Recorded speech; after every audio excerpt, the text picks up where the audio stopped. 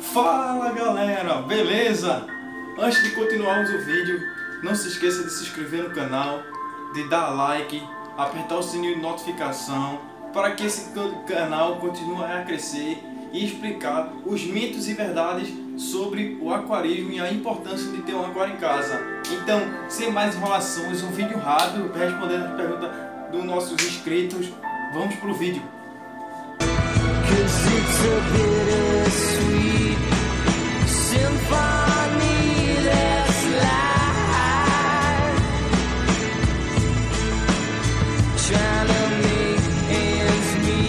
A primeira pergunta é de Josué. Ele me mandou perguntar qual a importância de ter um aquário em casa.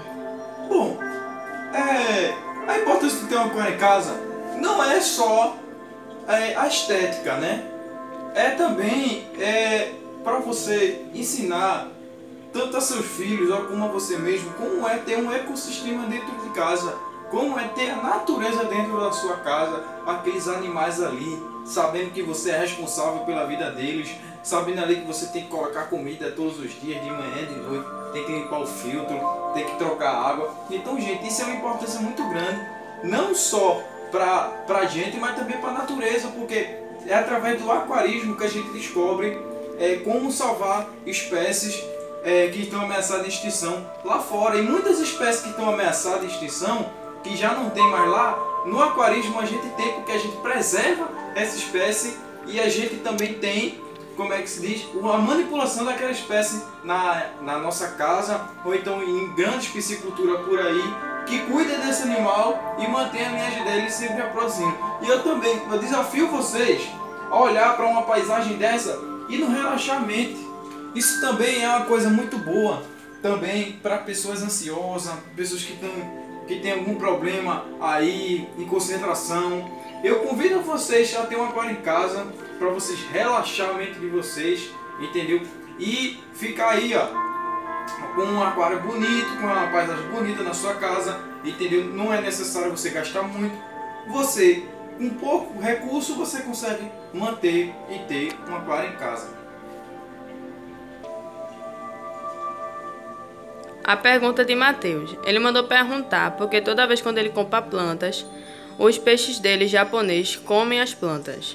Tá aí é uma grande pergunta, uma grande dúvida que nossos clientes, nossos inscritos nos perguntam. Por que toda vez que a gente coloca uma planta no aquário, o japonês king come? Porque, gente, vale lembrar que o japonês king é um peixe é, onívoro, é um peixe que não só alimenta de rações, mas como se alimenta também de plantas. Então, se vocês colocarem uma planta dentro do aquário, com certeza eles vão devorar. A gente vai mostrar agora o que é que aconteceu quando a gente colocou uma planta aqui no aquário com o japonês. Vamos lá, gente. Olha aqui, gente, como vocês podem ver, colocamos uma planta aqui, ó, no aquário, onde estava lá fundo, bonita, extremamente bonita, e veja o que é que aconteceu com a planta.